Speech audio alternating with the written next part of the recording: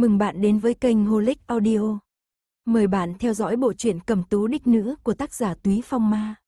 Nếu yêu thích video hãy nhấn theo dõi kênh và để lại bình luận bên dưới nhé. chương 241, Quốc sắc vô song, 1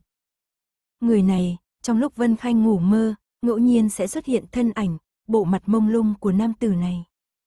Nhi tử của Hoàng hậu và Minh đế tứ hoàng tử, Ngự Thần Hiên.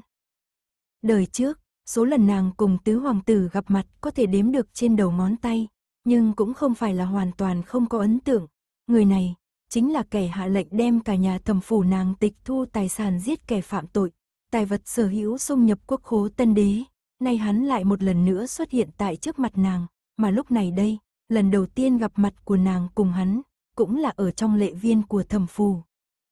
Thời gian cùng không gian lặp lại giao thoa, Vân Khanh tự hồ lại nghĩ tới ngày đó nghe được lời nói phiêu đãng của vi ngưng tử ở bên tai. Phân không rõ tình cảnh đang diễn ra hết thảy trước mắt là đời này hay đời trước. Mà ngồi ở phía dưới hắn, đó là cảnh hữu thần một thân cầm bào màu xanh, mang trên mặt tươi cười khéo léo, nhưng trong mắt lại đầy nịnh nọt, nhìn thấy người tiến vào thì liền nhỏ giọng kêu, điện hạ, vị mới vừa vào kia, đó là nữ nhi duy nhất của thẩm phù. Nghe vậy, Ngự thần hiên tự nhiên liếc mắt một cái liền thấy ở bên trong phần đông nữ tử mặc xanh xanh đỏ đỏ, Vân Khanh một thân trang phục trang nhã. Chỉ là một cái liếc mắt đảo qua, đáy mắt ngự thần hiên liền lóe lên một tia sáng kỳ dị. Ngày ấy hắn giả trang đến Dương Châu, ở cửa hàng thẩm gia nhìn thấy một nữ tử mang mũ sa, lúc ấy nghe được người chung quanh gọi nàng là thẩm gia đại tiểu thư. Chỉ thấy nữ tử hôm nay một đầu tóc mây mềm như tuyết, khuôn mặt trắng nõn như châu, Mặc dù ở kinh thành đã gặp qua không biết bao nhiêu mỹ nhân, nay cô gái mặc trang phục mộc mạc, lại không giảm đi sự tao nhã trên người, cũng là cực kỳ hiếm thấy, nhưng thấy nàng sau khi đi vào, không có như các khuê tú khác đối với hắn cùng ngự phượng đàn ánh mắt đều thẹn thùng, quyến rũ, hâm mộ, chỉ là cực kỳ bình tĩnh đánh giá. Cảnh hữu thần cẩn thận quan sát ánh mắt ngự thần hiên, không bỏ qua đáy mắt thâm sâu kia xẹt qua một chút cực kỳ nhỏ ý thưởng thức cùng kinh diễm, nếu không phải hắn đi theo bên người tứ hoàng tử nhiều năm, chắc cũng không thể phát hiện tia đánh giá lướt qua nháy mắt kia. Hắn ngước mắt nhìn về phía Vân Khanh, cảm thấy ý tưởng của mình ngày ấy thật là chính xác. Đối diện bỗng có tầm mắt cực kỳ sắc bén, làm cho hắn không thể không thu hồi ánh mắt, nhìn về phía ngự phượng đàn. Chỉ thấy nam tử đối diện nét mặt như vân, một đôi phượng mâu nhỏ màu rượu, nhìn không ra đến tột cùng cái gì đang ẩn sâu trong đó lại khiến trong lòng hắn cảm thấy lạnh lẽo. Cảnh hữu thần tự hỏi chưa bao giờ nhìn thấu Cẩn Vương Thế Tử, hắn ở Kinh Thành là người có quyền thế, nhưng lại chưa bao giờ lạm quyền, phong lưu tùy ý, sống so với hoàng tử còn muốn tiêu sái hơn. Lúc mọi người nghĩ đến hắn sẽ trở thành một gã ăn chơi chắc táng, thì hắn được cử mang binh đi đánh Tây Nhung xâm chiếm, sau khi được Minh Đế phái ra nghênh chiến. Bày ra mưu trí khiến không ai ngờ được, toàn thắng trở về, làm cho thế nhân đối hắn lại thay đổi cách nhìn. Ở ngoài sáng, hoàng đế đối với hắn tồn tại khúc mắc, trong lòng kiêng kỵ, hắn lại phi thường thoải mái giao binh quyền cho Minh đế, không có dấu hiệu muốn nắm quyền, đồng ý mang chức xuông, chấn Tây đại tướng quân, dưới trướng không có thủ hạ cùng binh lực cũng không có gì oán hận. Hắn không hiểu ngự phượng đàn, cũng giống như hắn rất khó biết ngự thần hiên đến tột cùng đang nghĩ cái gì. Ngự phượng đàn đón nhận tầm mắt của cảnh hữu thần, hòa lẫn vào ánh mặt trời, ngón tay vẽ ra một đường cong, đem rượu mon uống cạn, đầu lưỡi đảo qua nhấm nháp vị rượu, phong tư như vậy, quỳnh quang lan chi, ánh sáng chói mắt và hoa lan xinh đẹp, đều không thể hình dung. Sau đó liền không hề cố kỵ đem ánh mắt chuyển tới Vân Khanh chưa từng lưu ý nhìn về phía hắn, lại phát hiện tầm mắt của nàng vẫn dừng lại ở trên người tứ hoàng tử, tựa hồ theo từ khi vào, vốn không có nửa phần rời đi. Hắn mặt mày hơi trầm xuống, ánh mắt chuyển rời đến trên mặt ngự thần hiên, khóe miệng tươi cười càng phát ra tươi tắn, trong lòng tất cả lại không có tư vị gì. Tứ hoàng tử, tại đây đều là toàn bộ nữ tử xinh đẹp nhất vùng Giang Nam, có thể khiến người động lòng a. Ngự phượng đàn thản nhiên cười, giống như vô ý lại tựa như trêu chọc, đem tầm mắt ngự thần hiên cùng Vân Khanh đang giao nhau đánh gãy, hắn như có như không liếc liếc Vân Khanh một cái, đáy mắt tựa hồ có ý khác. Ngự thần hiên thế này mới phát hiện mình mới vừa rồi lâm vào trong trầm tư, che giấu đáy mắt kinh ngạc trong một chốc kia, tùy ý nói, Giang Nam cảnh sắc xác thực cùng kinh thành có khác biệt rất lớn. Hắn ý vị thâm trường nói, lại làm cho mọi người sinh ra một loại cảm giác, không biết hắn nói là người hay là cảnh, hay là cả hai đều có.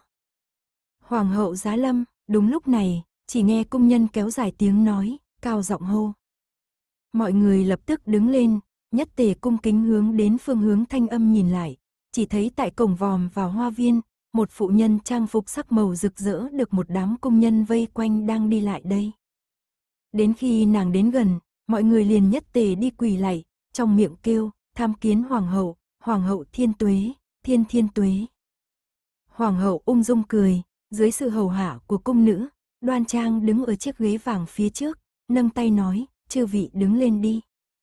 Lúc này, Vân Khanh mới nâng góc váy, đứng lên, nhìn phụ nhân kia ngồi ngay ngắn ở trên môi báu, một thân hoa phục đỏ thẫm sắc phượng, hoa lệ dưới ánh mặt trời giống như máu loãng ở nơi sâu rộng nhất chảy xuôi xuống, búi tóc cao cao cài châm phượng hoàng chín đuôi, ở chính giữa chán vẽ một bông hoa màu đỏ tươi, bày ra bộ dáng hoàng gia vô thượng uy nghiêm. Tuy rằng tuổi tác đã gần 40, hoàng hậu lại bảo dưỡng thập phần thích đáng, phấn thơm da thịt dưới ánh mặt trời thoạt nhìn cũng có vẻ trắng nõn, chính là mặt mày cao gầy, mang theo loại khí tức đặc hữu của nữ nhân sống trong hoàng cung tối tăm cùng dày đặc oán khí. Dù hiện tại là ngày thu ánh nắng chói chan, cũng không thể đem loại hơi thở tối tăm này tán đi.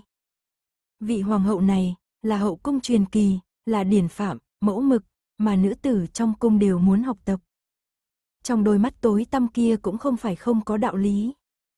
Vân Khanh nội tâm suy nghĩ lướt qua, hoàng hậu đã mang mỉm cười bưng lên chén ngọc trên bàn, nói, bổn cung là lần đầu tiên tới Dương Châu, tuy chỉ mới đến ngày hôm qua, nhưng có thể biết được Giang Nam giàu có và đông đúc, hôm nay đặc biệt mời các vị cùng nhau thưởng thức cảnh đẹp ngày thu và cuộc sống thái bình thịnh thế muôn đời của đất nước ta.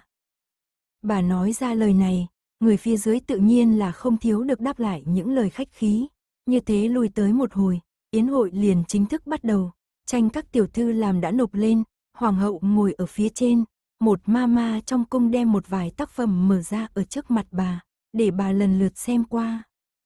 Vân Khanh ngồi ở phía dưới, bình tĩnh đợi kết quả, tranh của nàng là một bức hài đường xuân thủy, lập ý không khí vui mừng nhưng cũng không quá mức nổi trội, đó cũng là mục đích hôm nay của nàng, chỉ cầu khiêm nhường, cũng không cầu nổi bật.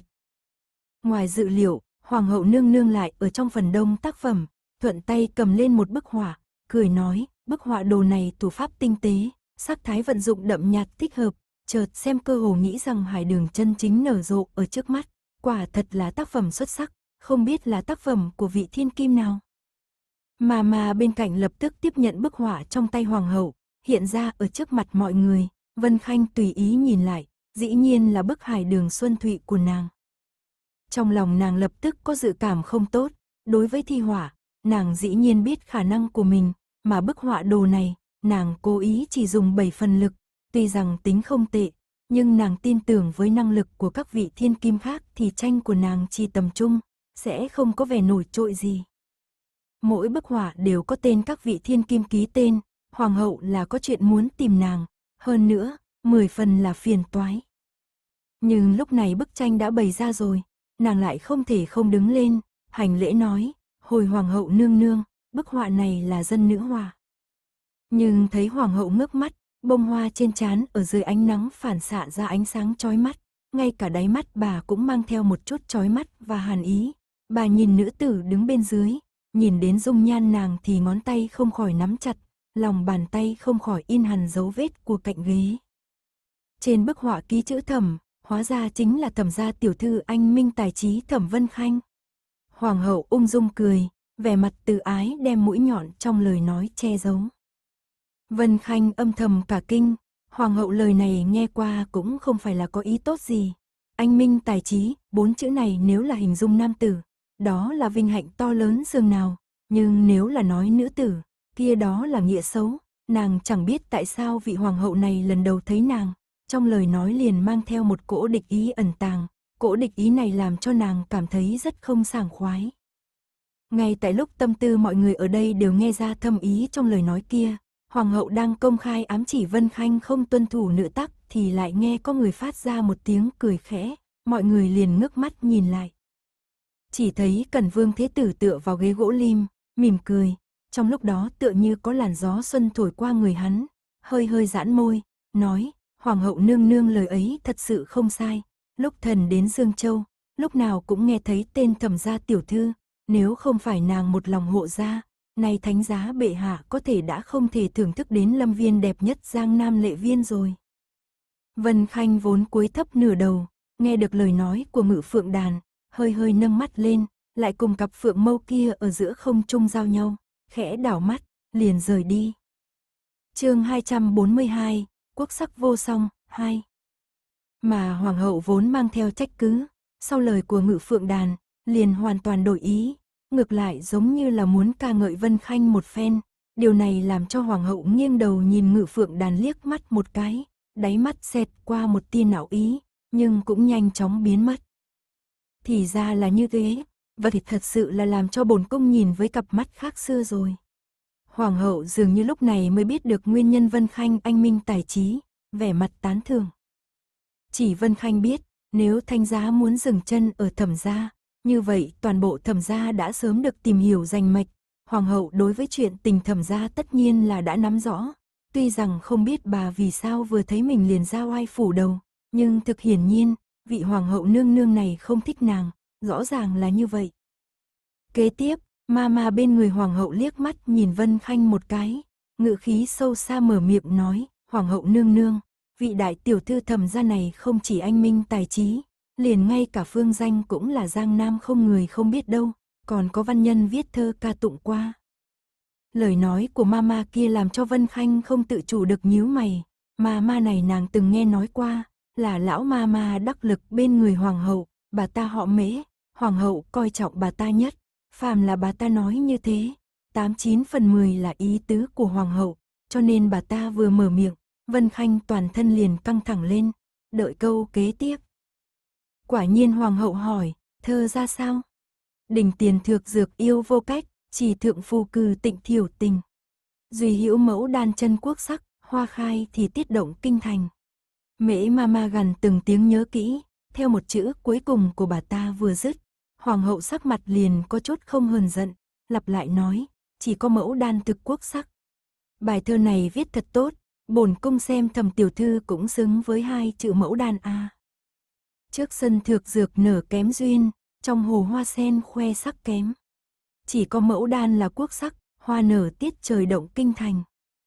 Ở Đại ưng, khuê danh của nữ tử cũng không phải bí mật gì, cho nên khi hoàng hậu vừa dứt lời, sắc mặt mọi người trong hoa viên đều thay đổi. Chỉ có mẫu đan thực quốc sắc, câu này thơ kỳ thật cũng không có vấn đề gì, có vấn đề là hai chữ mẫu đan. Bởi vì khuê danh của đương kim hoàng hậu đó là Di Phương, mà hai chữ Di Phương đại biểu đó là mẫu đan, nếu nói là Vân Khanh là thật quốc sắc, kia hoàng hậu nương nương vậy là cái gì? Kỳ thật vốn chẳng qua là văn nhân thuận miệng ngâm vài câu thơ, nhưng hoàng hậu hỏi đến như thế, Vân Khanh liền bị xem như không biết trời cao đất rộng, dám cùng phượng chúa so sánh rồi. Lúc này, Vân Khanh nếu là trả lời không tốt, sẽ lâm vào chỗ vạn kiếp bất phục, mà thơ lại xác thực chính là của đám thi nhân dùng để ca ngợi sắc đẹp của Vân Khanh, tán dương nàng tươi đẹp như mẫu đan, quý không thể nói. An Tuyết oánh lòng bàn tay gắt gao nắm chặt, thay Vân Khanh sốt ruột, khuôn mặt nhỏ nhắn tràn ngập lo lắng, nàng hận không thể xông lên đi thay Vân Khanh nói chuyện, nhưng nếu lúc này tiến lên, chỉ biết càng rước lấy phiền toái cho Vân Khanh mà thôi, ngược lại bất lợi, nội tâm liền âm thầm lo lắng. Mà Vi Ngưng Tử mang theo một chút lo lắng nhìn Vân Khanh, đáy mắt vừa xẹt qua một tia khoái ý, lúc trước nàng ta còn vì hai câu thơ từ này mà ghen tị với Vân Khanh, nay xem ra, Thẩm Vân Khanh thật xứng đáng, ai bảo nàng sinh ra diễm lệ lóa mắt như vậy. Trong hoa viên trở nên cực kỳ im lặng, ánh mắt mọi người đều dừng lại ở trên người Vân Khanh, cùng đợi xem nàng như thế nào trả lời những lời này. Ngự phượng đàn ngón tay nắm chén ngọc thoáng buộc chặt, ở sâu trong đôi mắt hẹp dài hiện lên ánh sáng đỏ rực chợt lóe rồi biến mất. Môi mỏng nhấp một ngụm rượu, nhìn thân ảnh mỏng manh như liễu phía dưới kia, một đôi phượng mâu mang theo bình tĩnh lạnh nhạt, một chút sợ hãi cũng không có. Vân Khanh trên mặt mỉm cười, là một cái lễ theo đúng tiêu chuẩn của triều đình, nâng lên cằm, phượng mâu lưu động, giống như ánh mặt trời tỏa sáng, lại cười nói, dân nữ không dám nhận sự thừa nhận của Hoàng hậu nương nương. Mẫu đan là quốc hoa đại ung, phú quý ung dung, lưu tinh vô song, nhưng mẫu đan cũng giống như người có phân biệt khác nhau, diêu vàng, ngụy tím, hoa nhi phong phú, giống chân quý, hình dạng nhỏ nhắn, chất như nhuyễn ngọc, đều có một loại khí chất cao thượng, tôn là đế mẫu đan, cùng hậu mẫu đan, loại mẫu đan này được thế nhân yêu thích cùng tôn kính nhất, nhưng một cây cũng có khó được, sau đó thì có mọc lâu điểm thúy, mực chỉ thanh long là loại giống quý hiếm, trên đời cũng có ít người nhìn được. Mà trừ những loại đó ra, cũng có một loại mẫu đan, cánh hoa nhỏ, mọc nơi dã ngoại, cũng có tên mẫu đan, còn được gọi là cẩm tú, bất quá chỉ là trùng hợp ít người phân biệt được, loại hoa vô danh bé nhỏ này mãi cũng không thể sánh bằng loài cao quý kia. Thơ ca do thi nhân phố phương làm, tầm nhìn nhỏ hẹp, nhất định chưa từng thưởng thức qua loại tuyệt sắc quý hiếm, nghĩ đến nhận biết một gốc cây mẫu đan hoang dài, mà đã coi là quốc sắc, thật sự là không ổn. Thanh âm của nàng rõ ràng rành mạch, trong sự rành mạch lại mang theo ôn nhu, phảng phất như đang giới thiệu mẫu đan, nhưng làm cho tất cả mọi người có thể nhìn ra, theo như lời nói của Vân Khanh, hoàng hậu sắc mặt cũng tốt hơn nhiều, hiển nhiên không có bộ dáng tức giận như vừa rồi.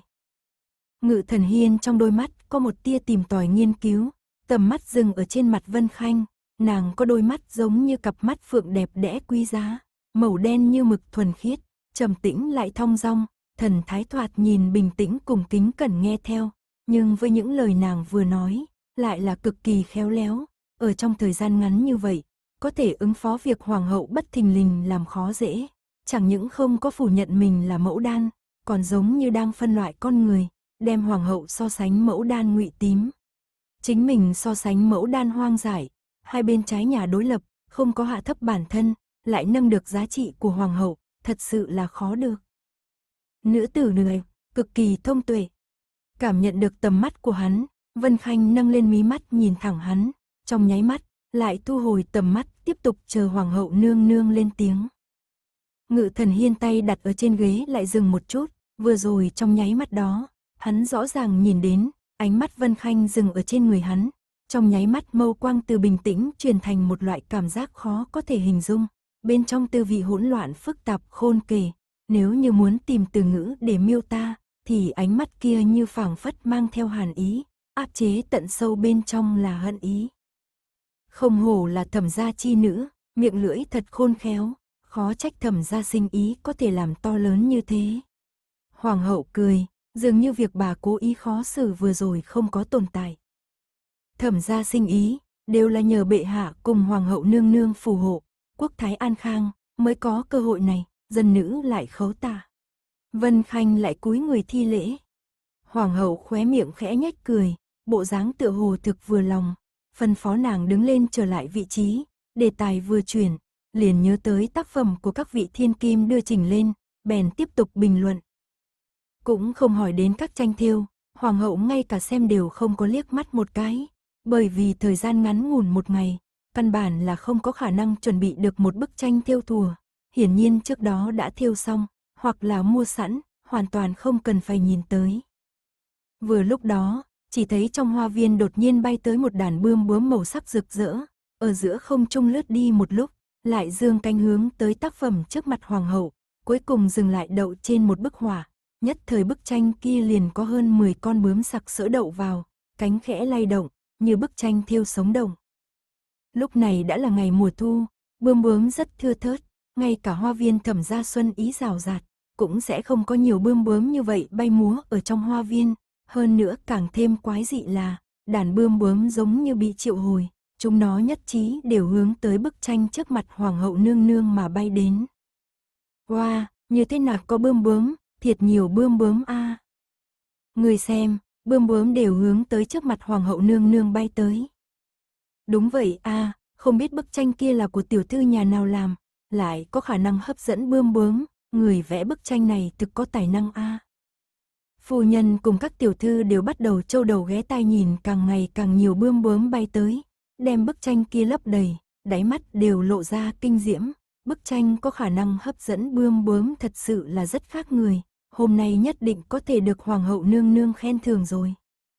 Nhìn các vị tiểu thư đáy mắt ghen tị cùng hâm mộ, vi ngưng từ lộ ra một loại đắc ý âm thầm, môi của nàng không tự chủ được hơi hơi cắn câu, tưởng tượng thấy đợi lát nữa ở trước mắt bao người nàng ta được khen thương. Cũng may nàng ta sớm biết rằng hoàng hậu khuê danh là Di Phương, cũng không có vẽ bức tranh mẫu đan, mà là bức tranh hoa đào nở rộ. Ánh mắt Vân Khanh thấy càng ngày càng nhiều bươm bướm kích trên bức tranh dừng lại, đột nhiên âm thầm cười, đáy mắt mang theo ý cười bí hiểm. Vi ngưng tử a vi ngưng tử, ta chỉ biết, ngươi lần này nhất định sẽ không chịu ngoan ngoãn, hy vọng đợi lát nữa, ngươi có thể thừa nhận được khen thưởng hậu hĩnh của Hoàng hậu A. Mà mễ ma ma sắc mặt cũng theo đàn bươm bướm hạ xuống mà biến sắc, ngử phượng đàn còn lại là hơi nhếch môi, vẻ mặt thú vị nhìn bức họa kia, thậm chí còn duỗi thẳng cổ nhìn xem bức họa kia, tựa hồ là nôn nóng muốn xem cho bằng được, đến tột cùng làm sao hấp dẫn nhiều bươm bướm như vậy. Nhiều bươm bướm như vậy che kín, đều nhìn không thấy phía dưới bức tranh là cái gì, hoàng hậu nương nương, người xem được sao? Ngự phượng đàn phi thường tiếc nuối thở dài, tuy rằng trong lời nói mang theo ý tứ không cam lòng, nhưng Thủy Trung cũng không có đi xua đuổi bươm bướm trên bức tranh kia, mà muốn chúng nó trồng chất lên trên. Mà đôi mắt ngự thần hiên cũng càng ngày càng sâu, một đôi mắt như chim ưng dừng lại trên bức tranh, chỉ có cảnh hữu thần một bên cảm thán, này không biết là tiểu thư nhà ai, thật không ngờ nổi bật hấp dẫn bươm bướm đến, thật sự là làm cho người ta nhìn với cặp mắt khác xưa. Ngự phượng đàn nhìn thoáng qua cảnh hữu thần, khóe miệng mang ý cười gật đầu, đúng vậy, không biết là tiểu thư nhà ai, có tâm tư như thế, ở mùa thu mà có thể hấp dẫn bươm bướm tới. Hắn đôi mắt xẹt qua chữ ký phía dưới bức tranh, quay đầu hướng Vân Khanh nhìn lại. Mới vừa rồi hoàng hậu một phen khó xử cũng chưa lưu lại cho nàng bóng ma gì. Nàng cùng các thiên kim khác đều giống nhau ngồi ngay ngắn ở trên chỗ ngồi. Duy nhất cùng các nàng bất đồng là, các tiểu thư khác đáy mắt đều là hâm mộ cùng ghen tị, thậm chí âm thầm hối hận tại sao mình không có loại bản lĩnh này, làm cho bươm bướm bay tới, mà đáy mắt Vân Khanh, càng như là một loại không có ý tốt đang mong chờ. Nàng, giống như biết chủ nhân bức họa là ai, cũng đang chờ xem kịch vui, mà không phải chờ xem hậu thường. Hắn quay đầu nhìn thoáng qua vi ngưng tử, thầm than, nàng ta sẽ không hay ho rồi. Cảm ơn bạn đã ghé thăm kênh Holic Audio. chương 243, giận dữ mắng mỏ phí phạm, 1. Vì ngưng tử nghe thấy người bên cạnh nghị luận, nhìn ánh mắt mọi người đều bị bức họa hấp dẫn. Lường trước hôm nay người nổi bật nhất sẽ là chính mình. Nàng ta rất muốn nhìn về phía tứ hoàng tử cùng cần vương thế tử một chút, lại sợ hành động của bản thân quá mức can đảm rước lấy sự không vui của hoàng hậu, vì thế làm ra vẻ ánh mắt lạnh nhạt, cũng không có bộ dáng gì vội vàng. Nàng ta là biểu tiểu thư sống nhờ ở thầm phủ, vị trí tự nhiên là an bài ở bên cạnh Vân Khanh. Lúc này bộ dáng của nàng ta Vân Khanh mặc dù là không cố ý cũng có thể thu vào đáy mắt, quay đầu lại càng thấy rõ ràng, nàng hơi hơi cúi thấp người, nhẹ giọng nói, biểu tỷ, cũng không biết là tiểu thư nhà ai, biện pháp nổi bật như vậy, thật cao minh nha. Vì ngưng tử chợt nghe nàng nói chuyện, tầm mắt nhìn khóe môi Vân Khanh mang ý cười, chỉ cảm thấy trong lòng căng thẳng, nàng ta cùng Vân Khanh kỳ thật không có xảy ra xung đột chính diện quá lớn, nhưng nàng ta có thể cảm giác, biểu muội này không thích nàng ta, thường ngày cũng phần lớn là nàng ta chủ động đi tìm Vân Khanh nói chuyện, ngày hôm nay Vân Khanh lại mở miệng nói một câu như vậy, khó trách nàng ta không nghĩ sâu xa thêm, nhưng mà nghĩ lại một chút, bức tranh kia đặt ở trên, Vân Khanh lại nhìn không tới. Liền thoáng thả lỏng, nghĩ rằng Vân Khanh chỉ là đang muốn ở trước mặt mọi người làm ra bộ dáng tỉ muội hòa thuận, liền cũng cười nói, đúng vậy a, thật là hấp dẫn ánh mắt mọi người a. Vân Khanh nhìn nàng ta một cái, cười yếu ớt nói, bất quá có đôi khi, quá mức làm náo động, kỳ thật cũng không phải chuyện tốt. Vì ngưng tử không nghĩ tới lời nói của nàng lại thay đổi, bỗng nhiên nói như thế, đáy mắt hiện lên một tia không hờn giận. Vân Khanh tất nhiên là ghen tị chính mình không nghĩ tới biện pháp tốt như vậy, vừa nghĩ tới Vân Khanh là ghen tị với nàng ta, nội tâm liền dâng lên một loại cảm giác thỏa mãn rất lớn. Vừa lúc đó, hoàng hậu khóe miệng hiện lên tươi cười chậm rãi, động tác kia thập phần thong thả, cũng thập phần quái dị, bà nhìn bức họa trước mặt, nói, mễ ma không biết bức tranh hấp dẫn phần đông bươm bướm là của tiểu thư nhà nào làm. Mễ mama nhíu mày một chút, lấy tay đem bươm bướm đảo qua, cầm bức tranh trên bàn dơ lên cao cao, cho mọi người nhìn, hoàng hậu nương nương hỏi bức họa này, là của tiểu thư nhà ai? Lúc mọi người chung quanh đang xem tranh, Vi ngưng tử mặt mang mỉm cười, đứng lên đối với hoàng hậu xa xa cúi đầu, nói, hồi hoàng hậu nương nương, bức tranh vụng về này là của thần nữ. Nha, ngươi tự xưng là thần nữ, xin hỏi là thiên kim nhà ai? Hoàng hậu mỉm cười hỏi. Câu hỏi của bà đúng là bình thường, nhưng khuôn mặt nhỏ nhắn của vi ngưng tử đã hiện lên chút khó xử. Vừa rồi Vân Khanh tự xưng là dân nữ, bởi vì thẩm mậu là thương nhân, mà phụ thân vi ngưng tử là vi gia vọng tộc, đã từng nhậm chức ở trong kinh, nhưng rốt cuộc chức quan không lớn, hiếm ai biết, lại đã qua đời, cho nên vi ngưng tử nghĩ nghĩ, mới đáp, phụ thân thần nữ năm kia đã qua đời. Nha, nguyên là như thế, vậy ngươi hôm nay tới tham gia yến hội, là theo người nào mà đến? Hoàng hậu tự hồ đối với vi ngưng tử có chút quan ái, cẩn thận hỏi nhiều vấn đề. Mọi người cũng hiểu được vi ngưng tử là được hoàng hậu coi trọng, hoàng hậu là người tôn quý như thế, còn tỉ mỉ hỏi xuất thân của nàng, chỉ sợ là có ý đồ khác, nhất thời đều nghiêm túc lắng nghe, chính là tạ di lúc trước tận hết sức lực ở trong giới thượng lưu của Dương Châu Giao Tế, người nơi này vẫn ít nhiều biết đến vi phủ. Vì ngưng tử trong lòng cũng là nghĩ như thế, nếu không, hoàng hậu căn bản là không cần hỏi ra thế của một thiên kim nho nhỏ như nàng ta. Có lẽ hoàng hậu là cảm thấy nàng ta huệ chất lan tâm, trong lòng nảy ra ý định muốn chỉ hôn cho nàng ta, liền càng tỏ ra cung kính hữu lễ, thần nữ theo mẫu sống nhờ ở trong nhà dựng gì, phụng mệnh hoàng hậu nương nương mời nữ quyến thẩm phủ tham gia, thần nữ cũng cùng theo tới tham dự. Vậy mẫu thân ngươi đâu, hôm nay không có đến sao?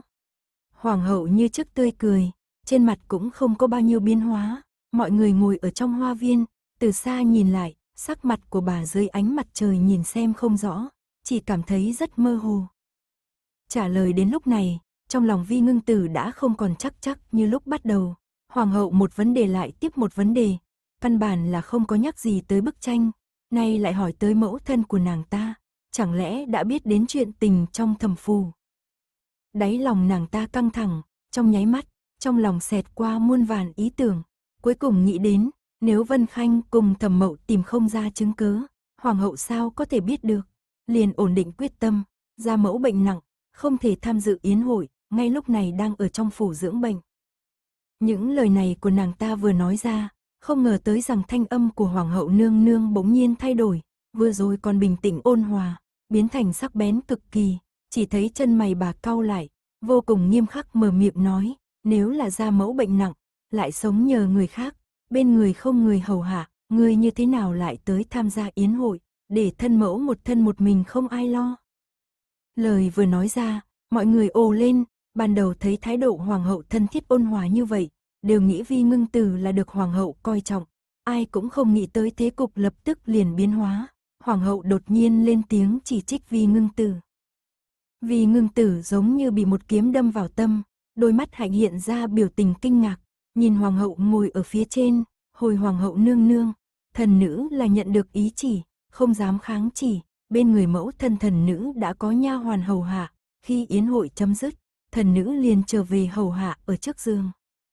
Lời này của nàng ta nói đúng sự thật, ý chỉ của hoàng hậu, mặc kệ có nguyên do gì, tới tham gia yến hội cũng không coi là phạm phải sai lầm lớn gì.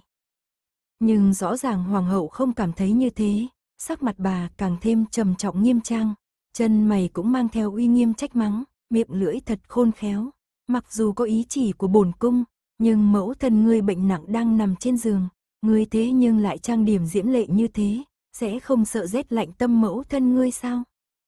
Hoàng hậu lại làm khó dễ, khiến cho sắc mặt vi ngưng tử thoáng chốc trở nên trắng bệch, mặc dù nàng ta tâm tư linh hoạt, nhưng rốt cuộc vẫn là cô gái chưa cập kê, lại là lần đầu tiên gặp hoàng hậu, cái loại khí thế trời sinh uy nghi này đã tạo một lực ép trong lòng nàng ta, lại bị lớn tiếng khiển trách như vậy, trong lòng sợ tới mức cơ hồ giống như có tảng đá hung hăng đập vào, không biết mở miệng trả lời như thế nào, nhất thời liền thốt ra, hoàng hậu nương nương là quốc mẫu, quốc mẫu có ý chỉ, thần nữ nhất định phải vâng theo. Nếu là mặc quá mức mộc mạc, chỉ sợ sẽ khiến cho hoàng hậu không vui. Lời này nói còn chưa dứt lời, hoàng hậu sắc mặt liền càng phát ra âm trầm, trong thanh âm ung dung xen lần một tia hàn ý, ngươi còn phản bác bổn cung. Hôm nay không chỉ có mình ngươi, còn có thiên kim toánh xuyên hầu, vì toánh xuyên hầu phu nhân bệnh nặng liệt giường, nàng liền tới tạ lỗi với bổn cung, muốn ở bên giường hầu hạ mẫu thân không thể tới tham gia yến hội. Trương Huỳnh, Vân Khanh lúc này mới nghĩ đến, hôm nay tựa hồ sau khi đi vào không có nhìn thấy thân ảnh của nàng ấy, thì ra là thế, hậu duệ quý tộc ở Dương Châu, Toánh Xuyên Hầu cũng được xem là danh hào, Trương Huỳnh tất nhiên cũng được mời. Bất quá Vân Khanh cũng không cảm thấy ngoài ý muốn, dù sao Trương Huỳnh hiếu thuận là việc mọi người đều biết. Hoàng hậu tựa hồ rất tức giận, vẫn chưa nói xong, bà lại tiếp tục, lại nhìn ngươi hôm nay trình lên bức họa này, bổn cung thấy bức tranh ngày xuân nhiều loại hoa khoe sắc, ngươi còn cố ý ở trên bức tranh dùng hương liệu dẫn bướm, một người có mẫu thân bệnh nặng liệt giường thế nhưng đem tâm tư để ra oai bên ngoài. Bổn cung rất khó tin tưởng ngươi trong ngày thường là như thế nào dụng tâm hầu hạ mẫu thân ngươi.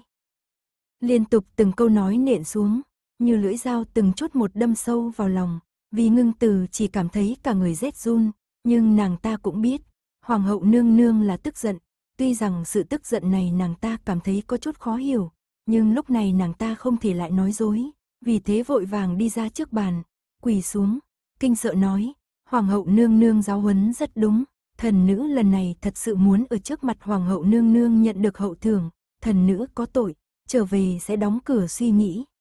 Càng thêm dụng tâm chiếu cố mẫu thân, hay cho một vi ngưng tử có thể tiến có thể lùi. Vân Khanh trong lòng âm thầm kêu một tiếng hào, nhìn vi ngưng tử quỳ trên mặt đất, tư thái cây chán dí sát đất, đáy mắt đều là ý cười vui sướng khi người gặp hỏa, chính là tư thái nàng ta nhận sai như vậy, cũng phải xem hoàng hậu có muốn nhận hay không đã. Thực hiển nhiên, hôm nay đối với vi ngưng tử mà nói, là một ngày không nên xuất môn.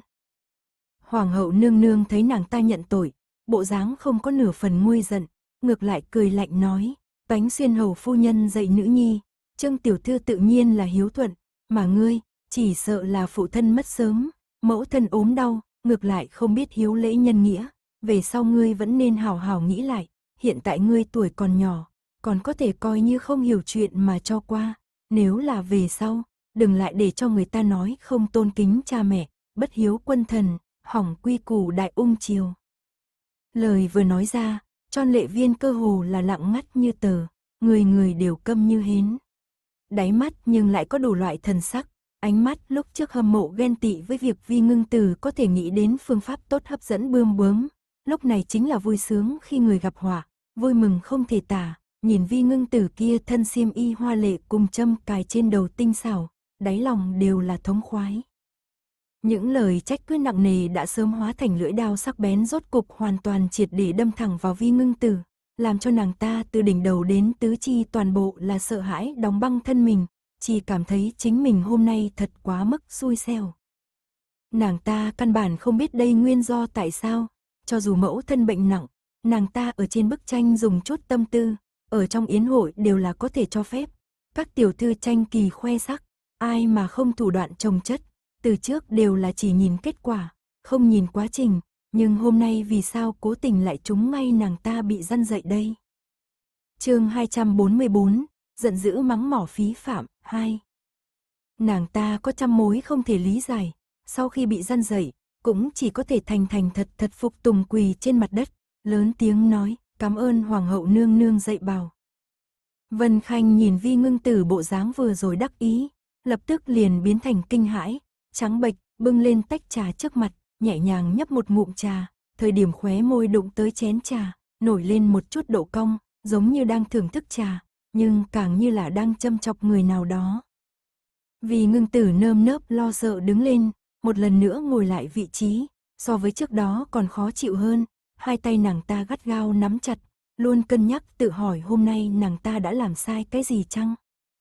Đương nhiên, cho dù nàng ta nghĩ lâu đến đâu cũng sẽ không nghĩ ra đến tột cùng là vì sao. Năm đó nếu không phải cảnh hữu thần ngẫu nhiên cùng Vân Khanh nói qua một việc, Vân Khanh cũng sẽ không biết. Hoàng hậu nương nương hiện tại là Tiết Duy Phương, vốn không phải nguyên phối của đương kim minh đế, bà vốn chính là sườn phi của minh đế. Sau khi minh đế lên ngôi, được phong là Hoàng Quý Phi, mà Tránh Phi lúc đó lại là trưởng nữ của tứ đại gia tộc cổ gia, cổ Y Lan, cũng là nguyên hậu của Minh Đế. Khi Minh Đế vẫn còn là hoàng tử, tiên đế từng cho tổ chức yến hội tuyển chọn phi cho ngài. Lúc ấy Tiết Duy Phương cùng cổ Y Lan đều là thiên kim nổi danh kinh thành, cầm kỳ thư họa, nữ hồng đều là không kém bao nhiêu, mặc dù ra thế, đều đồng dạng hiền hách, vì thế tiên đế muốn phong hai người phân ra sườn phi cùng tránh phi, liền ra một đề bài, yêu cầu hai người bọn họ trong vòng một tháng giao ra một bức tranh thiêu, đến lúc đó liền xem ai nữ hồng xuất sắc hơn, liền lập thành tránh phi. Một tháng sau, khi hai người đem tác phẩm trình lên, tiên đế cùng thái hậu đều cảm thấy bản lĩnh cả hai đều có chỗ xuất sắc, đánh giá hồi lâu, cũng không thể chọn ra một bộ xuất sắc hơn, nhưng vị trí tránh phi chỉ có thể có một người, vừa lúc đó, đột nhiên bươm bướm trong ngự hoa viên bay ra, tạo nên mỹ cánh, đậu trên một bức tranh, tiên đế cùng thái hậu liên tục lấy làm kỳ lạ, nói thiêu hoa có thể dẫn tới bươm bướm, có thể thấy được trình độ này đã muốn đạt tới cảnh giới tối cao, vì thế tuyệt bút vung lên. Khâm điểm của Y Lan là tránh phi, mà Tiết Duy Phương làm sườn phi. Tình cảnh ngày đó, cùng tình cảnh vi ngưng tử hôm nay, cơ hồ là giống nhau như đúc.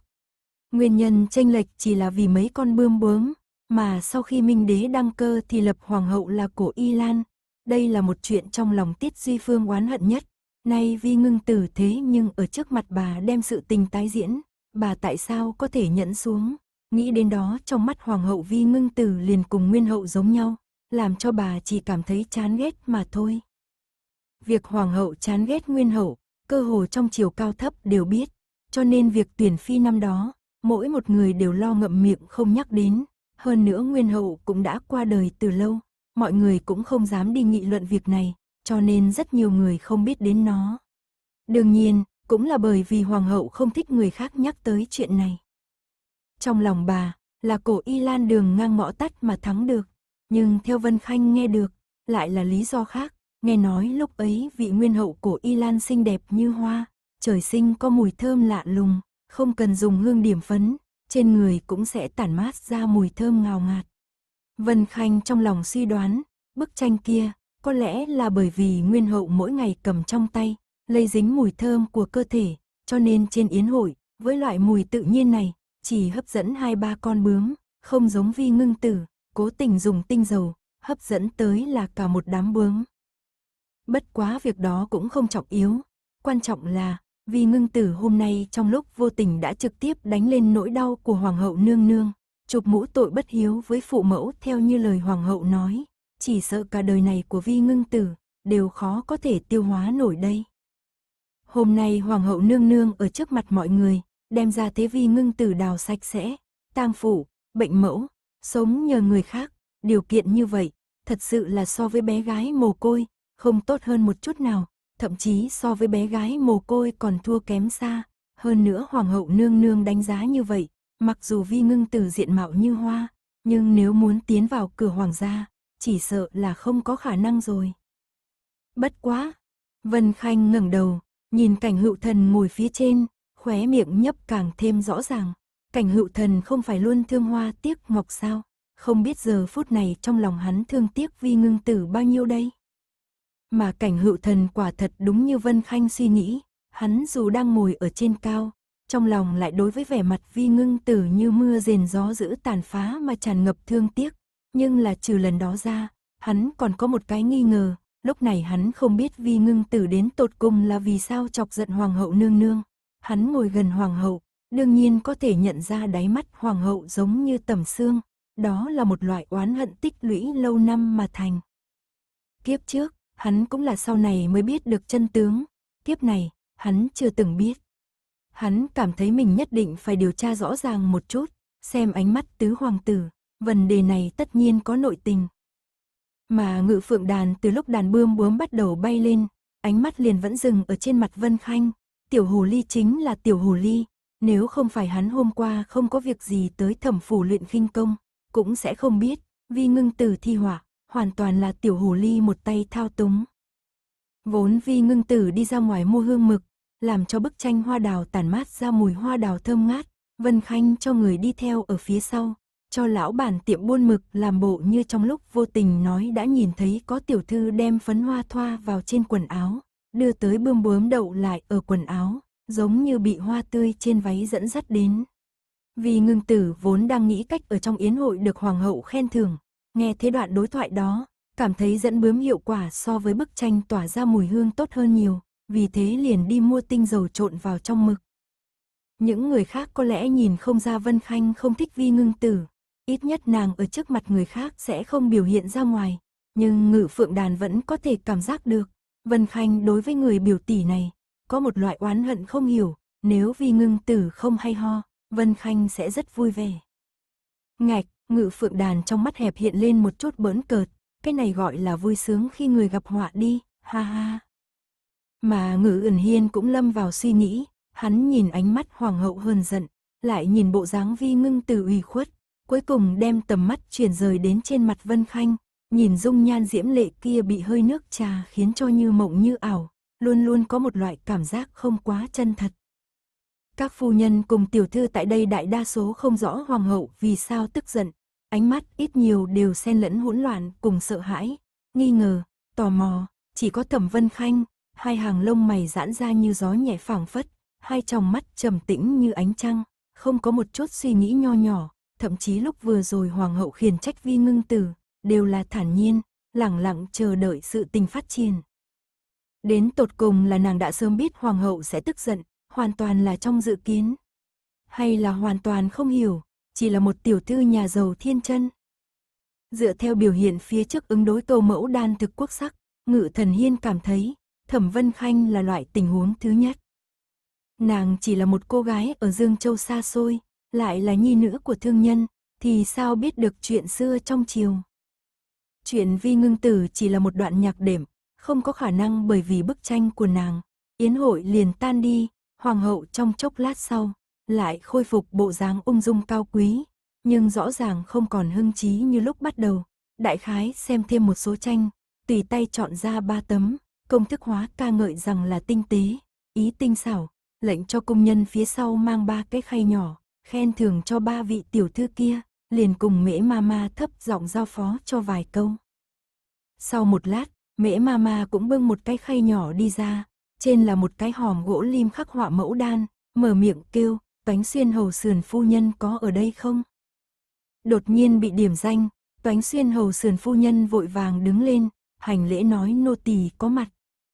Mễ ma ma hẻ mặt tươi cười, lại chỉ cảm thấy ngoài cười nhưng trong không cười. Hôm nay Toánh Xuyên Hầu Phu Nhân cùng Đại Tiểu Thư cũng không tới tham dự yến hội. Hoàng hậu nương nương niệm tình trương Đại Tiểu Thư hiếu tâm động lòng người, đặc thưởng một đôi vòng tay trường thọ. Toánh xuyên hầu sườn phu nhân tươi cười chuyển sang cứng ngắc, mới vừa rồi lời hoàng hậu gian dạy vi ngưng tử còn tại bên tai, bà ta hôm nay cho rằng so với vi ngưng tử thân phận còn phú quý hơn rất nhiều, nay chính thất ở trong nhà ốm đau, bà ta mang theo nữ nhi tới tham gia yến hội, không chừng hoàng hậu sẽ nhớ tới mà giáo huấn bà ta một chút, chỉ dám cúi gục đầu, không dám nâng lên vội vàng tạ ơn. Tất cả mọi người biết, đây thoạt nhìn là thưởng cho Trương Huỳnh, kỳ thật hoàng hậu vẫn chưa buông tha cho vi ngưng tử, thưởng cho Trương Huỳnh kỳ thật chính là làm thấp đi giá trị của vi ngưng tử. Chúng phu nhân người người đều đã thành tinh, vốn đối với loại cô nhi như vi ngưng tử vẫn luôn mang theo khinh thị, vừa nghĩ tới nàng ta lại chọc giận hoàng hậu, lại cảm thấy loại nữ tử chắc chắc phải tránh xa, để khỏi bị nàng ta liên lụy, ít nhất lúc hoàng hậu còn tại Giang Nam, là phải tránh đi vi ngưng tử. Hình tượng khổ tâm tạo ra đã bị hoàng hậu nói mấy câu đánh đổ, vi ngưng tử hận, hàm răng cắn chặt, oán khí lại chỉ có thể nuốt vào trong bụng. Mà lúc này, trừ bỏ vi ngưng tử, còn có một người, cùng tâm cảnh của nàng cũng thập phần giống nhau. Trương Lạc ngồi ở bên cạnh toánh xuyên hầu sườn phu nhân, sắc mặt hết sức khó coi, khi hoàng hậu trách mắng vi ngưng tử có nhắc tới Trương Huỳnh thì nàng ta đã không vui vẻ, Nguyên bản hôm nay nàng ta dâng tác phẩm chiếm được hoàng hậu nương nương ban cho một đôi vòng ngọc, nàng ta thập phần vui vẻ, liền quên mất lời nói trước đó hoàng hậu khen ngợi Trương Huỳnh, lại nói như thế nào, rốt cuộc là nàng ta vẫn được ban thường. Nhưng nàng ta chưa từng dự đoán được, hoàng hậu thế nhưng phía sau, còn cố ý ca ngợi Trương Huỳnh, ban cho nàng một phần thưởng độc nhất vô nhị. Điều này làm cho Trương Lạc hao tâm tổn sức mới làm ra bức tranh lóa mắt sao có thể chịu được.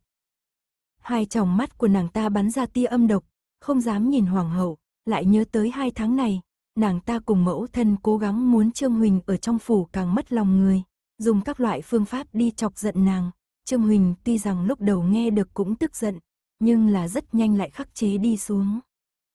Tính cách Trương Huỳnh ra sao, Trương Lạc rõ ràng nhất, thấy nàng tính cách trở nên bình tĩnh hơn, cho người ta hỏi thăm, mới biết được Vân Khanh từng ở trong phòng Trương Huỳnh, nói cho nàng gặp chuyện phải bình tĩnh. Hiện tại Trương Huỳnh lại được Hoàng hậu ca ngợi, cho dù muốn lấy hai chữ hiếu thuận ở trên người Trương Huỳnh làm tiếng xấu, khó khăn so với trước kia càng lớn hơn. Nghĩ hết thảy, Trương Lạc không thể đem oán khí chút lên Hoàng hậu, liền vẻ mặt âm trầm nhìn chằm chằm Vân Khanh ở chỗ ngồi đối diện, nếu không phải nàng, Trương Huỳnh có lẽ sớm đã bị nàng ta cùng nương hãm hại đến thanh danh không còn, sẽ không giống hôm nay, được Hoàng hậu khen thưởng. Nên thường đã thường, trước khi chính thức dùng cơm có một canh giờ là cho các tiểu thư ngắm hoa dạo chơi. Hoàng hậu tuyên bố là tự du ngoạn liền từ cung nhân giúp đỡ rời khỏi, lưu lại một nhóm đông tiểu thư phu nhân trong hoa viên. Trương Lạc gặp nhóm người top 5 top 3 đều tự đi xem xét vườn hoa, liền gọi nha hoàn bên người lại, bên tai nàng nói nói mấy câu, nha hoàn kia gật gật đầu, lặng lẽ trong đám người rời đi. Chương 245, trừng phạt kẻ ngu xuẩn, 1. Trương Lạc thấy đám người đều top 5 top 3 tự đi xem xét vườn hoa, liền gọi nha hoàn bên người lại đây, sát vào bên tai nàng nói nói mấy câu, nha hoàn kia gật gật đầu, lặng lẽ rời khỏi đám người. Mà An Tuyết oánh, sau khi hoàng hậu vừa tuyên bố dạo chơi hoa viên ngắm hoa, liền từ chỗ ngồi đứng lên, một đường đi về phía Vân Khanh, khuôn mặt nhỏ nhắn hơi có vẻ tái nhợt tràn đầy thần sắc lo lắng, Vân Khanh. Vân Khanh đem tầm mắt đang nhìn bên kia thu trở về, nhìn An Tuyết oánh cười nói, nhìn ngươi ngày hôm nay sắc mặt cũng không tệ lắm, chúng ta cùng đi ngắm hoa đi thôi. Ân, tất nhiên ta phải nhanh chân đến chiêm ngưỡng hoa viên rồi, trong các lâm viên của Giang Nam, lệ viên là hoa viên có trăm hoa đua nở xem không chán, hàng năm đều có những sáng ý vô cùng mới mẻ. An Tuyết oánh nhìn chung quanh bố trí hoa cảnh, từ đáy lòng ca ngợi nói. Vân Khanh cũng nhìn chung quanh vườn hoa đã trải qua tỉ mỉ bố trí, gật đầu mỉm cười. Lần này chỉ sợ là lần hao tốn tâm tư nhất kể từ lúc lệ viên thành lập cho đến nay, vì nghênh đón thánh giá của thiên tử, mọi thứ đều phải được chuẩn bị tốt nhất. An Tuyết oánh thấy nàng thản nhiên nở nụ cười, lại lôi kéo tay nàng, chậm rãi dọc theo vườn hoa đi về phía trước, miệng thì thảo luận những chuyện vừa xảy ra khi nãy ở yến hội, không biết hoàng hậu nương nương lần này là làm sao vậy, đầu tiên là đối với ngươi làm khó dễ, tiếp theo thì hướng vi ngưng từ khiển trách, nghe nói hoàng hậu không phải vô cùng đoan trang thanh lịch sao, sao ta cảm thấy có chút không giống với. Nàng ấy đang nói chuyện, Vân Khanh đã vươn tay lên che miệng nàng ấy lại, nhẹ nhàng lắc đầu, thấp giọng nói, tuyết oánh, tai vách mạch rừng. An tuyết oánh thế này mới nghĩ đến, nơi này là lệ viên nơi thánh giá dừng chân, bên trong vườn rất có thể có thị vệ hoàng gia xuất hiện, những lời nàng mới nói nếu rơi vào trong tay hoàng hậu, đây chính là tội lớn, vội vàng chừng mắt nhìn, tỏ vẻ nàng đã hiểu rõ rồi. Vân Khanh thế này mới buông tay, để cho Lưu Thúy và nha hoàn của An Tuyết Oánh Đại Hàn đi xung quanh xem xét một vòng. Hai người tìm được một nơi rộng rãi, nơi này tầm nhìn rộng lớn, chung quanh không có vật gì che đậy, có thể phòng ngừa có người ở chung quanh nghe lén. An Tuyết Oánh thấy Vân Khanh làm việc cẩn thận như thế, nhớ tới mình vừa rồi lỗ mãng như vậy, nếu để làm cho người ta nghe thấy được, không chừng trừ bỏ chính nàng, còn liên lụy đến Vân Khanh, nhất thời cảm thấy trong lòng có chút băn khoăn, xin lỗi nói, vừa rồi là ta rất sơ ý, thiếu chút nữa liên lụy ngươi rồi. Khuôn mặt nàng ấy nhỏ nhắn trắng trẻo, đáy mắt đều mang theo ý xin lỗi. Vân Khanh nhìn thấy bộ dáng kia đáy lòng ấm áp, vươn tay thắt lại dây áo choàng cho nàng ấy, khẽ cười nói, nếu là trong ngày thường mà nói thì không sao, nhưng hôm nay lại bất đồng, cho nên vẫn nên chú ý nhiều hơn một chút, mặc kệ có ai nghe thấy được hay không, chúng ta đều phải kiêng kỵ một chút. An Tuyết oánh gật đầu, nhìn đôi mắt phượng thanh u của Vân Khanh lộ ra tia thông tuệ hoàn toàn bất đồng với mình, bên trong giống như một hồ sâu thăm thẳm, nhìn thế nào cũng đều lộ ra trí tuệ và sự sắc sảo, không khỏi vừa hâm mộ lại lo lắng nói, vừa rồi thật đúng là thiếu chút nữa dọa đến ta. Hoàng hậu đột nhiên hỏi đến bài thơ kia, ta nghe được cũng không biết phải trả lời như thế nào hảo, may mắn ngươi phản ứng mau, nghĩ tới vật còn có phân loại, lúc ấy ta thật là sợ thoát tim. An Tuyết Oánh nói xong, nắm thật chặt tay Vân Khanh, ngón tay còn hơi hơi siết lại, nghĩ đến tình cảnh ngay lúc đó, nàng bây giờ còn có chút khẩn trương. Nàng không dám tưởng tượng, vì ngưng tử chính là dùng điểm tâm kế, đã bị hoàng hậu trách cứ gán cho tội danh to như vậy. Vân Khanh nếu lúc ấy phản ứng chậm một chút, không thể trả lời thỏa đáng, hoàng hậu có thể lại gán cho nàng một cái phạm thượng hay không? Cảm giác được độ ấm trong lòng bàn tay An Tuyết oánh, Vân Khanh vỗ nhẹ nhẹ một chút mờ u bàn tay của nàng, lại cười nói, không có chuyện gì, ngươi lo lắng làm gì nha, đối với thân thể của ngươi lại không tốt. Nói đến thân thể của chính mình, An Tuyết oánh đáy mắt hiện lên một chút ảm đạm, sau đó có hơi chút không xác định hỏi, không biết như thế nào, ta rốt cuộc vẫn cảm giác hoàng hậu nương nương đối với ngươi cùng vi ngưng tử đều có địch ý, tuy rằng không phải thực xác định, nhưng ta cảm giác bà là nhằm vào ngươi mơi hỏi những vấn đề như vậy, sau đó là vi ngưng tử, ta không được rõ cho lắm. Hoàng hậu là lần đầu tiên tới Dương Châu, mà Vân Khanh cũng chưa từng rời đi Dương Châu, vậy trong đó có phải có hiểu lầm gì hay không? An Tuyết oánh lấy nhìn nhận mọi việc đều nghĩ theo chiều hướng tốt, tuy rằng đã nhận ra gì đó, cũng sẽ không giống như Vân Khanh lo nghĩ đến những vấn đề xấu nhất. Lúc này Vân Khanh đồng dạng cũng nghĩ đến, nhưng phương hướng lại không giống nhau.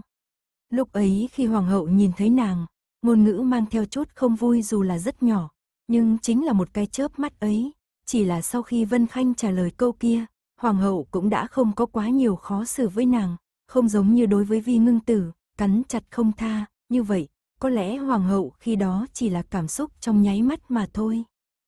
Hoặc là, Vân Khanh lớn mật đoán, nàng chưa từng rời khỏi Dương Châu, cũng chưa từng gặp qua Hoàng hậu, Hoàng hậu cũng không biết nàng, như vậy có hay không khả năng là Vân Khanh nàng lớn lên giống người mà Hoàng hậu từng nhận thức. Khả năng này, có lẽ có, có lẽ lại do chính nàng nghĩ nhiều, dù sao biết không chừng chính là do bài thơ kia chọc giận Hoàng hậu. Theo nàng biết, Hoàng hậu không phải là một người rộng lượng hào phóng. Chắc là do bài thơ tự sáng tác kia, để cho người ta nghe được, luôn sẽ suy nghĩ khác đi, còn những việc khác, hẳn là không có. Vân Khanh nhìn An Tuyết oánh, trong ánh mắt đều là thần sắc chấn an, ngừng lại một chút, nàng cúi đầu nhìn bàn tay trắng noãn của An Tuyết oánh, khuyên nhủ, chỉ mới ở trong hoa viên có một lát mà thôi, tay ngươi liền lạnh lẽo rồi, tốt hơn hết vẫn không nên ở nơi thoáng gió này, chúng ta đến trong đỉnh kia ngồi một chút, nghỉ ngơi một hồi. Cũng tốt, vậy thì cùng đi đi, An Tuyết oánh gật đầu tán thành, liền xoay người cùng Vân Khanh đi tới một mái đỉnh phía bên kia, vừa thảo luận những chuyện hôm nay, nhìn một đóa hoa quế rơi xuống vướn lại trên búi tóc của An Tuyết oánh. Vân Khanh cười nhạt quay đầu chậm chậm nói, nhìn xem, hoa này chẳng phải biết hướng mỹ nhân mà nghiêng mình sao. Nàng vừa nói, vừa giơ tay tinh nghịch lấy đóa hoa kia xuống, đúng lúc phát hiện ở phía sau có một thân ảnh thập thỏ lén lút, nhìn xiêm y của thân ảnh kia dường như là thị nữ Trương Lạc mang đến. Nghĩ hôm nay trên yến hội, lúc Trương Lạc nghe được Trương Huỳnh được khen thưởng, liền hiện lên thần sắc ghen tị, cuối cùng biến thành một loại hận ý rơi xuống trên người nàng, ánh mắt như vậy, bên trong không mang theo chút ý tốt nào. Vân Khanh nghĩ đến Trương Lạc ngày ấy ở trong phủ làm yến hội thì từng muốn xuống tay hãm hại Trương Huỳnh, là nàng ra tay giúp đỡ, sau đó lại nhắc nhở Trương Huỳnh phải học bình tĩnh đối diện với mọi chuyện đã xảy ra. Đoán chắc rằng Trương Lạc đã đem những hận ý đó, rời đến trên người nàng để phát tiết phẫn nộ. Nàng rất muốn biết nàng ta đang giở trò quỷ gì, hiện tại Minh Đế đều đang ở bên trong lệ viên, vạn nhất xảy ra chuyện gì, thẩm gia sẽ bị liên lụy. Tâm tư vừa chuyển bất quá chỉ trong một cái chớp mắt, Vân Khanh trong lòng đã có quyết định, ngoài mặt lại đang tiếp tục động tác lấy đóa hoa quế kia xuống, đặt vào lòng bàn tay An Tuyết oánh. Ta thấy đóa hoa quế này thật sự rất thơm, nhanh lấy túi thơm ra, ép lại kẹp trong sách cũng không tệ đâu. An Tuyết oánh gật đầu, ý tưởng này của ngươi thật hay, vừa mở sách ra, bên trong liền truyền đến mùi thơm hoa quế, rất hợp với mùi thơm của trang sách, vậy chúng ta liền nhặt nhiều một chút, đến lúc đó ta bảo Tiểu Hàn phơi nắng khô, làm nhiều thêm vài cái nữa. Được, Vân Khanh cúi đầu, bỗng nhiên thấp giọng kêu một tiếng, An Tuyết oánh hỏi, làm sao vậy? Vân Khanh một tay sờ thắt lưng bên hông, hơi hơi nhíu mi nói, ta hôm nay lúc đi ra ngoài có mang theo một chuỗi ngọc, sao lúc này lại không thấy đâu rồi? An Tuyết oánh vừa nghe Vân Khanh đánh rơi đồ, cũng có chút sốt ruột, hôm nay có nhiều người qua lại như vậy, nếu để cho người ngoài lấy đi, lại mang dụng ý xấu, đến lúc đó có làm sao cũng nói không rõ ràng, liền vội vàng nói, vậy chúng ta mau quay trở lại tìm xem, còn có thể sớm tìm thấy, người ở bên này hẳn là không nhiều lắm. Liêu Thúy nghe thấy Vân Khanh nói đánh rơi chuỗi ngọc, đáy mắt hiện lên một chút kinh ngạc, nàng hôm nay rõ ràng không lấy cho tiểu thư món đồ này, đang muốn mở miệng, liền bắt gặp Vân Khanh nghiêng đầu nháy mắt với nàng một cái, nhất thời hiểu được nàng khẳng định có nguyên nhân khác mới nói như vậy, cũng phối hợp nói, tiểu thư, vậy chúng ta mau quay lại tìm đi. An Tuyết oánh cất bước muốn quay lại con đường cũ, Vân Khanh bỗng lôi kéo nàng nói, tay ngươi vốn đã lạnh cóng mới rời khỏi chỗ thoáng gió kia, nay nếu lại quay trở về, nếu như ngươi ngã bệnh thì thật không tốt chút nào, ngươi vẫn không nên cùng đi, ta và Liêu Thúy đi tìm, ngươi đến lương đình phía trước ngồi nghỉ một chút chờ ta trở lại là được rồi. Cây cối trong lệ viên rất đa dạng, không khí ẩm ướt lành lạnh, ở hơn thỉnh thoảng lại có một cơn gió thổi tới, thật sự có chút xe lạnh. An Tuyết oánh biết tình trạng thân thể của mình, nàng đi nói không chừng còn làm cho Vân Khanh lo lắng, phân tâm, ngược lại sẽ khiến cho nàng không thể nhanh chóng tìm ra đồ vật được, vì thế gật gật đầu, cùng Đại Hàn đi về lương đình phía trước. Đợi thân ảnh của nàng đi xa rồi, Vân Khanh liền mang theo Lưu Thúy đi về một hướng khác, Lưu Thúy đáy lòng nghi hoặc hỏi, tiểu thư đã nhìn thấy cái gì sao?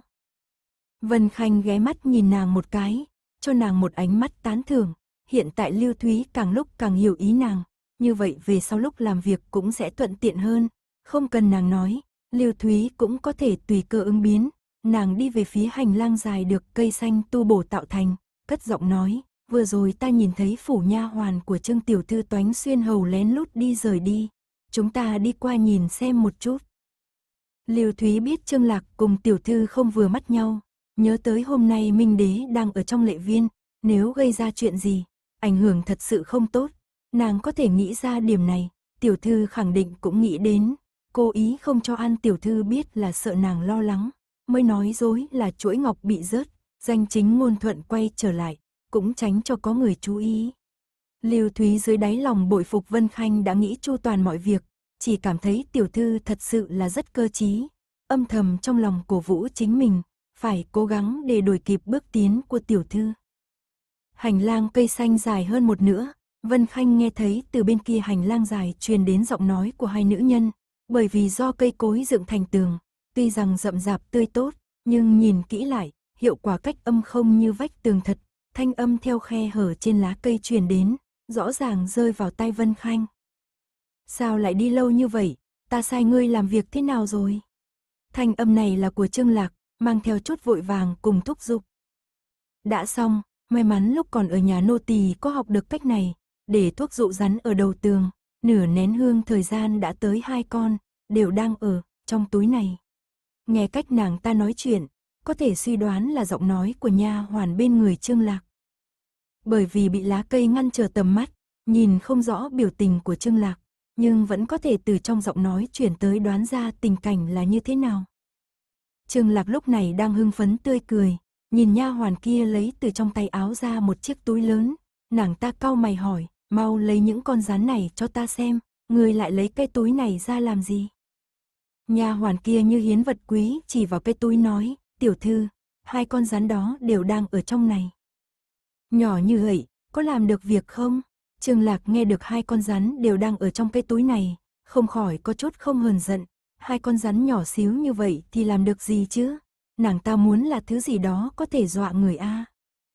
Tiểu thư, nô tỳ dùng thuốc dụ rắn, cố ý hấp dẫn những con nhỏ, nếu như quá lớn thì mục tiêu sẽ lớn, nô tỳ cũng không thể che giấu được a, đến lúc đó nhét dưới ghế của Thẩm tiểu thư, con rắn nhỏ như vậy mới dễ được việc a.